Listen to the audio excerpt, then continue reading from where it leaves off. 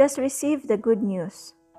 Song Joong Ki appeared with swollen eyes that made fans worried. Hello, today's video is about Song Joong Ki. If you like this video, you can like and subscribe. Thank you. After the premiere event of the drama The Youngest Man of Wealth took place on November 17, Song Joong Ki was recently seen moving to the US to attend the Emmy Awards 2022 ceremony. The images of the famous actor at the airport quickly attracted the attention of the audience.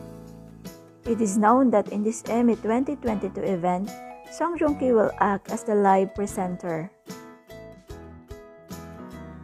This is not only a great honor for him, but also a pride for a Korean artist. This has partly shown how great the hit and influence of the male lead Vincenzo is. During this business trip, Song Joong Ki dressed quite simple. He wears a hat and a mask to avoid the attention of the media. As revealed, Song Hye Kyo's ex-husband landed safely on the morning of November 19, but today his photos have been officially released.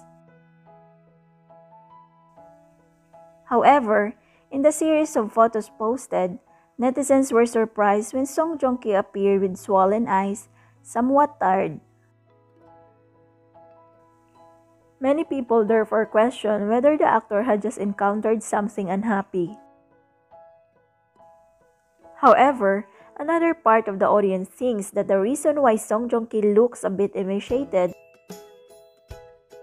is because recently he continuously had to run many work schedules so he did not have much time to rest. Health has been affected.